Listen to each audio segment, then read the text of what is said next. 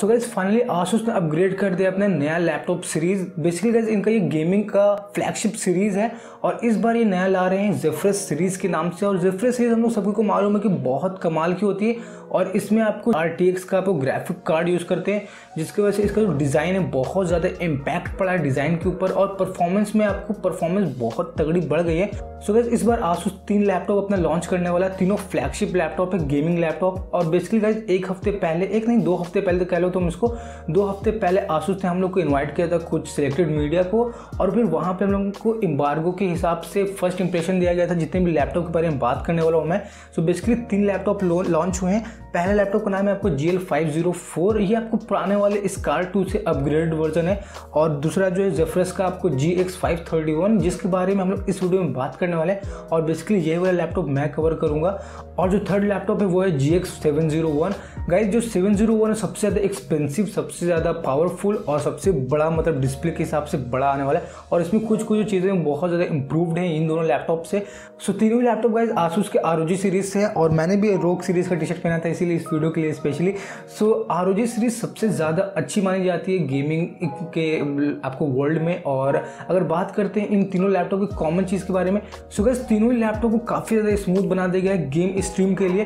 सो gas gaming stream के लिए इसमें आपको इनकोडर यूज़ किया गया है, जो कि आपको इनवीडिया का इनकोडर है और बेस्ड है इनवीडिया के ग्राफिक कार्ड पे। जो सीरीज़ इसमें यूज़ किया गया वो आपको एच टू सिक्सटी फाइव है जो कि पुराने वाले एच टू सिक्सटी फोर से बहुत ज़्यादा इंप्रूवड है और आसूस ऐसा कहता है कि ट्वेंटी फाइव परसेंट ज़्यादा इंप्रूव है और आराम से काफ़ी अच्छा काम कर सकता है। सो so बेसिकली ये हेल्प लेता है आपको ग्राफिक कार्ड से और स्मूथ गेम प्ले रिकॉर्ड करने में काफ़ी ज़्यादा अच्छा और कारगर कह सकते हो तुम इसको है। सो so, गेमर जितने भी हैं वो आराम से इस लैपटॉप को ले सकते हैं और अपने गेमिंग स्ट्रीम के लिए और अपग्रेड कर सकते हैं उस चीज़ को। और अगर बात करते हैं अपने दूसरे फीचर की, जो कि आपको लेटेस्ट फीचर है, यही जेफ्रस सीरीज़ में, इसका नाम है रे ट्रैकिंग फीचर और रे ट्रैकिंग फीचर मुझे बहुत कमाल का लगा लिटरली जितने भी गेमर्स हैं, उनको मतलब कि गेम खेलते हुए इम्प्रूवमेंट समझ में आएगी बेसिकली सो so ये जो टेक्नोलॉजी आपको रियलिस्टिक और नेचुरल एक्सपीरियंस देगी गेम खेलते वक्त, और आपको जो शेडो का जो शिफ्ट होता है, वो जैसे कि गन के ऊपर जो शेडो था, हम लोगों ने एक्सपीरियंस किया यूज़ किया, उसके हिसाब से मैं बता रहा हूँ। जो भी गन के ऊपर जो शेडो पड़ता है, या फिर आपको लाइट का रिफ्लेक्शन होता है, ये सब में बहुत ज़्यादा आपको एक्यूरेट है और बहुत ज़्यादा रियलिस्टिक और नेचुरल फील देता है गेम खेलते वक्त। एक अगर एग्जांपल लेके बताऊँगा इस तो आपको यहाँ पे एक मैंने गेम खेला था तो उसमें आपको पानी का जो फ्लो था, उसके हिसाब से बहुत ज़्यादा अच्छा रिफ्लेक्शन बन के आ रहा था। तो मुझे वो देख के काफ़ी कमाल का लगा कि बहुत ज़्यादा रियलिस्टिक था और वो जब जो चीज़ होती है वो आसूस ने काफ़ी ज़्यादा इंप्रूव किया है। और ये सब जो चीज़ें हैं, ये आपको पॉसिबल हो पाई है आपको ए टेक्नोलॉजी के बेस पे। और गाइज़ ये पहला लैपटॉप मेरे ख्याल से जो आपको ए टेक्नोलॉजी के ऊपर भी काम करता है, और बात करते हैं अपने तीसरे टेक्नोलॉजी की, जो कि आपको DLSS है। इसका जो फुल नेम है इसको आपको डीप लर्निंग सुपर सैम्पलिंग कहते हैं। सो बेसिकली ये भी एक ए आई बेस्ड टेक्नोलॉजी जैसे इसका एक एग्ज़ाम्पल देकर बताऊँ तो जैसे कि हम लोग नाइट शॉट यूज़ करते हैं मोबाइल में आपको क्या करता है कि तीन चार जो शॉट्स होते हैं उन सबको मर्ज करके एक शॉट बनाता है और आपको यहाँ पे जो चा, चार पाँच शॉट्स होते हैं वो अलग अलग आपको ऑब्जेक्ट पे फोकस करके उसको उसका डिटेल कैप्चर करते हैं और उन सबको मर्ज करके एक ही आपको इमेज में वो सारे के सारे डिटेल्स आते हैं। वही वाला चीज़ आपको DLSS में काम करता है। सो so जो डी एल एस एस है आपको यहाँ पे एक तरीके से रेंडरिंग टेक्नोलॉजी है और वही सेम काम करती है जैसे कि मैंने आपको एक्सप्लेन किया एज एन एग्जांपल लेके कि नाइट मोड कैसे काम करता है किसी भी कैमरे का।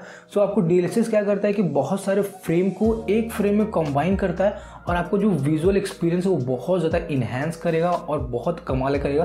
सो so, आसूस तो कहता है कि एक्सप्लोजिव विजुअल आपको एक्सपीरियंस सो so, वो चीज़ बहुत अच्छी होने वाली है। सो so, ये सब चीज़ें जो आपको गेम खेलते वक्त और रिव्यू करूँगा जब मैं जब मेरे को यूनिट आएगा तो मैं आपको फुल रिव्यू पक्की बात इसका करने वाला हूँ और फुल रिव्यू के हिसाब से बहुत अच्छे तरीके से एक्सप्लेन करूँगा लेकिन हाँ ये एक फ़र्स्ट इंप्रेशन वीडियो है तो उसके हिसाब से काफ़ी अच्छा है।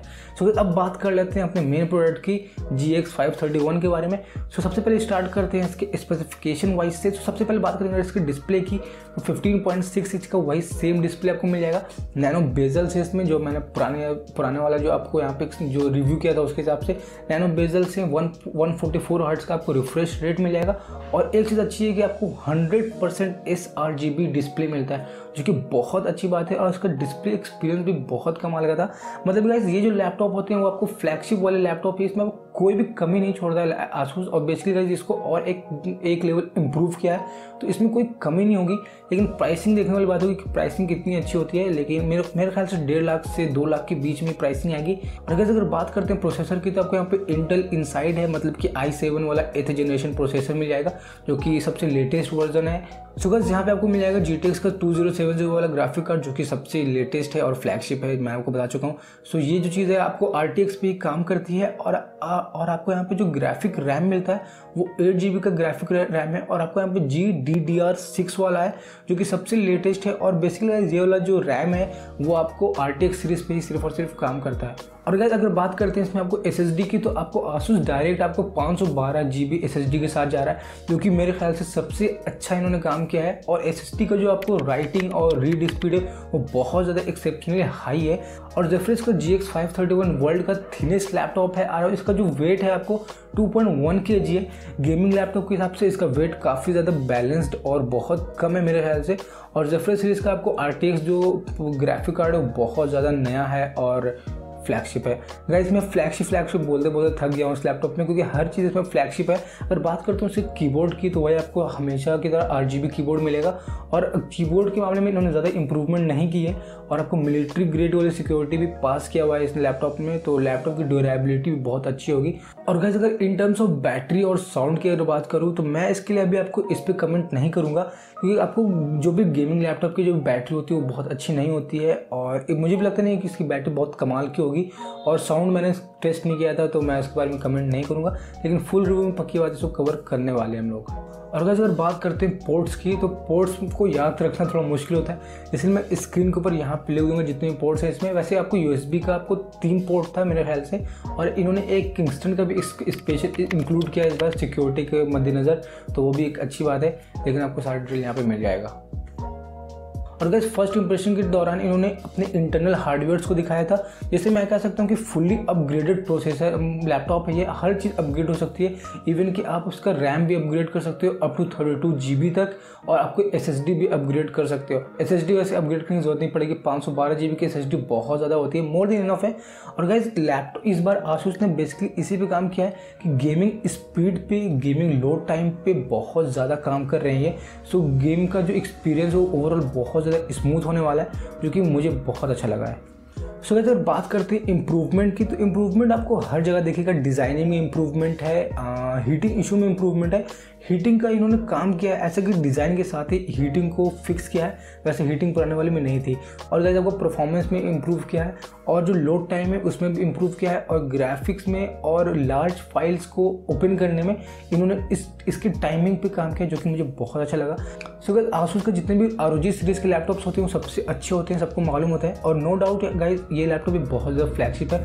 बस ये सारी चीज़ डिपेंड करेगा इसकी प्राइसिंग के ऊपर और देखते हैं प्राइसिंग क्या होती है। सो अगर इस वीडियो के लिए इतना ही था। और मुझे लगता है कि मैंने फ़र्स्ट इंप्रेशन के हिसाब से आपको काफ़ी कुछ इन्फॉर्मेशन दे दी है। और आई होप का वीडियो पसंद आया होगा। पसंद आया ज़रूर इस वीडियो को लाइक कर दो। और आपको कुछ भी स्पेसिफिकेशन वाइज कुछ भी जानना है तो आपको लिंक डिस्क्रिप्शन दे दूँगा। बाकी दोनों लैपटॉप के बारे में आप जान सकते हो बहुत आसानी से, उसको लिंक के ऊपर जाके। So thanks for watching guys जय हिंद। वीडियो चलेगा तो सब्सक्राइब कर दो और रिव्यू फुल रिव्यू के लिए वेट करो, पक्की बात आ जाएगा। और मैं एक अनबॉक्सिंग वीडियो भी अपलोड कर दूँगा अलग से ताकि आप लोग का एक्साइटमेंट बना रहे। थैंक्स फॉर वॉचिंग जय हिंद।